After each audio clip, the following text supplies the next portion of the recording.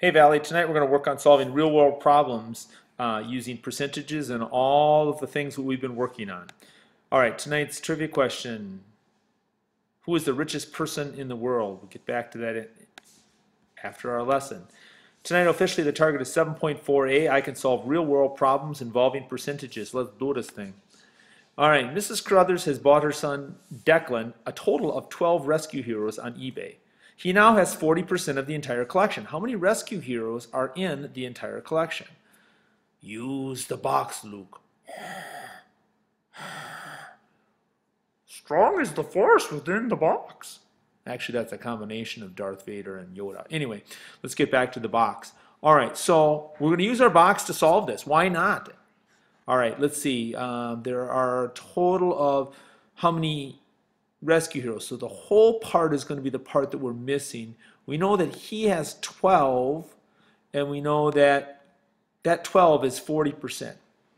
So we've got this in here, and we'll use our still our two rules that we used before. We're going to multiply diagonally and then divide the product by the third number. All right, so let's get my calculator here. So he has 12, and we're looking for the total. So we know that 12 times 100 is going to be 1200, so I'll just put that in. 1200, that's my product, and I'm going to divide it by 40. And that equals 30. So let me pop this number in, see if I can't get that up there. There we go. So 12 out of 30 equals 40%. So my answer is there are 30 rescue heroes in the collection. Does this answer make sense? Well, sure. If he had 12 of them and that were 50%, there'd be 24 rescue heroes total but it's 40%. So yes, my answer makes sense. This is the kind of logic and how we're going to go about solving real world problems tonight. All right, let's get to the box. Luke, use the box. Yes, we are going to apply what we've learned to solve real life problems using the box and, of course, a calculator. So while we didn't get to use that for estimates, we get to go back to the calculator on these problems here. Here's the first problem. On a test, you get 34 out of 40. What percent of the problems did you answer correctly? All right, so we know that there are 40 on the test, so I'll put that's the whole, and ooh, that's the whole, and we've got 34 correct. So I'll put that in there, that's the part. So, same thing. We multiply diagonally and then divide the third number. All right, so we know that 34 times 100 is 3400. So 3400. And we're going to divide that by the third number, which is 40. And we get 85. So let's pop that in. 85%. All right. So I got 85% of the problems correct. Does this answer make sense? Yes, it does. If I got 90% correct and missed 10%, I'd only be missing four problems. That'd be 36 out of 40, right? Because we know how to find 10%. So yes, my answer makes total sense. All right. It's really important to ask those two questions at the end. Did I answer the question and does it make sense? Because on these next couple of questions, it's going to be a little tricky. All right. A computer normally costs $600, but it's on sale for 35% off. How much is the discount? All right, so we know that the whole is going to be down here at $600. And we know that 35% of it is going to be the discount.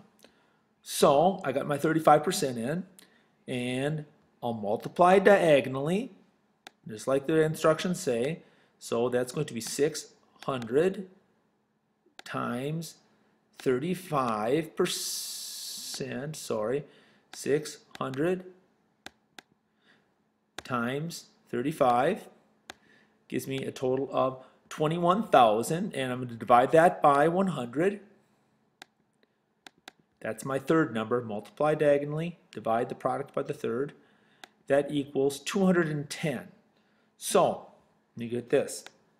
And pop it up here. The part would be 210. The computer is discounted $210. Am I done? Mm, let me make sure I answered the question. How much is the discount?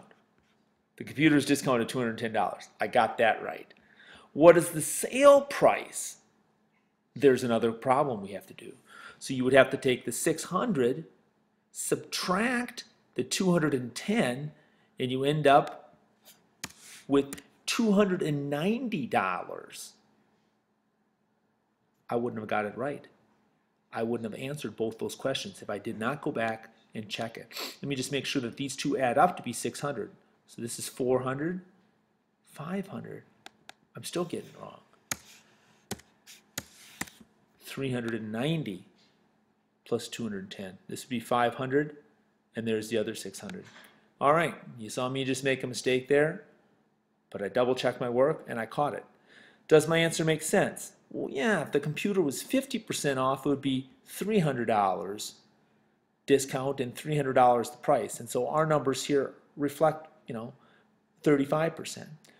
Okay, let's go on to the next problem where it gets even trickier. And again, just make sure you're reading the problem carefully. And you saw how quickly I had made a mistake there and changed it. All right. In a parking lot with 250 parking spaces, 40% of them are vacant. How many spaces are occupied? All right, well, I know that there's a total of 250, so I can pop my 250 in. And 40% of them, look, I'll lay that right over the top, 40% of them are, or are vacant. So I got to figure this out. So let me get my calculator out here. So I know I got to multiply diagonally 250 times the 40 will give me 10,000. If I divide that by 100, I get 100. So, let me grab this and put that in there. So I got 150 over 250 is equal to 40% or 40 out of 100. Okay, did I answer the question correctly? How many spaces are occupied? Uh, no, I didn't. 100 spaces are empty. I have to go back in and subtract 250 minus that 100 and I find out that there are 150 that have cars in them that are occupied. See how easy it is to make a mistake? You use the box to get the answer, but sometimes you have to tweak the answer to make sure you're answering the question. I'm going to double check it. How many spaces are occupied? Okay, there are 250 total, 40% of them are empty. So here's the 40% that are empty. Yes, 150 have cars in them, 150 are occupied. Does it make sense? Yeah. A half of them, half of it or 50% were uh, vacant, that would be 125. So we're looking good. All right. Your turn to try a couple problems. Go ahead and let me drop the screen. Give this one a shot. Go. All right, let's see how you did. Uh, Charlotte donates 5% of her income to charity. If she donated $3,000 last year, what was her total income? All right. So she donated 5%. We know that. Let's see if I can get it right over the top again. Nice. Last year she donated $3,000. So that was part of something, but we don't know what the whole was. So we'll multiply diagonally, and this gets a little bit tricky. 3 times 1 is 3, right? But I have one, two, three, four, five zeros one, two, three, four, five zeros, and I have to divide that by my 5, and I get 60,000. Okay, that sounds like about the right number for a salary, so let me put this down in here. So I got 60,000. All right, let me just say, make sure I answered the question if she donated $3,000 last year, what was her total income? So I'm saying that 3,000 over 60,000 is 5% or is 5 out of 100. So I said that she makes $60,000 a year. What was her total income last year? 60,000. Does my answer make sense? Yeah. If she were to give 10% of her income, 10% of 60,000 would be 6,000. So 5% would be 3,000. So yes, my answers make sense. All right, and here's another one you can try. Tracy's soccer team scored 80 goals this year. Tracy scored 30% of these goals. How many goals did Tracy score? Go ahead and give it a shot. All right, let's see how you did. All right, we know that she scored 30%, so we can slap the percent in. We know that the total number of goals was 80. So multiply diagonally, get the calculator here, and clear it out. So 80 times 30 gives, gives me zero. What? 80 times 30 equals 2,400. And now I have to divide that by 100. And that gives me a total of 24. So I got 24 goals out of 80. And that would be 30% or 30 out of 100. So make sure I answered the question. How many goals did Tracy score? She scored 24 goals out of the 80. That makes sense. And would my answer make, does my answer make sense? Well, yeah, if she scored 50% of the goals, this number would be 40. So 30%, yeah, that looks right at, right at 24. All right, good job working through those. Here's your uh, test problem, and I'll just pause for a minute while you can read it. All right, let's see if you can draw your own box and solve that problem without any help. All right, the answer to tonight's trivia question. Who is the richest person in the world? That's not Bill Gates. It had it flip flopping last May.